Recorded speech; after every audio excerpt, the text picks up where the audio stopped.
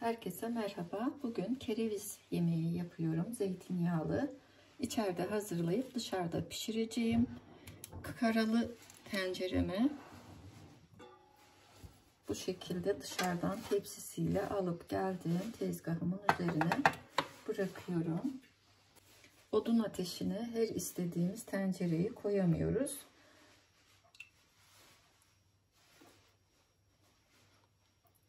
2-3 yemek kaşığı zeytinyağı.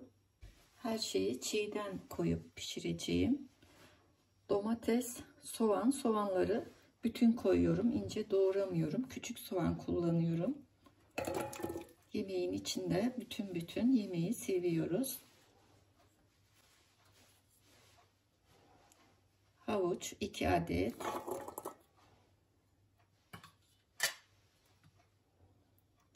Kereviz kökü. Bu da kerevizin yeşil yaprakları.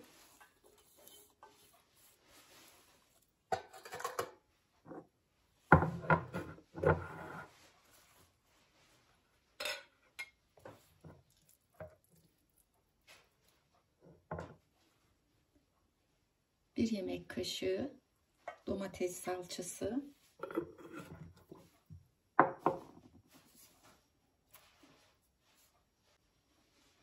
Bir tatlı kaşığı kırmızı toz biber. Arzu eden tuz da ekleyebilir. Bu aşamada ben tuzsuz pişiriyorum. Evde yaşlılarım var. Tenceremin kapağını kapatıyorum. Hiç su eklemeden önce kavuracağım. Pişirmeye gidiyoruz.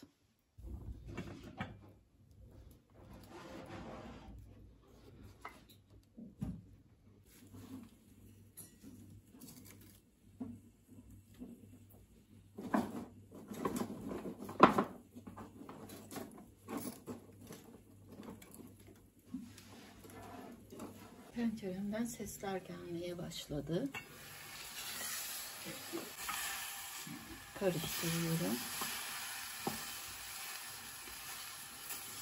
Alt üst daha güzel kavrulması için.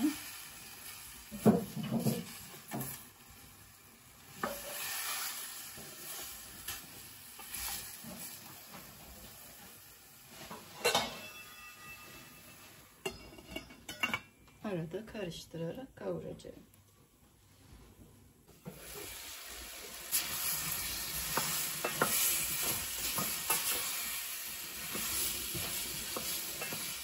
Kavurma işlemi bitti.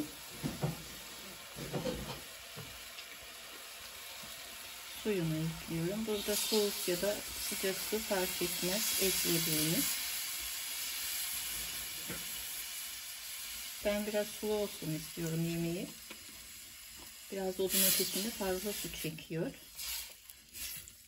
Açıkta kaynadığı için.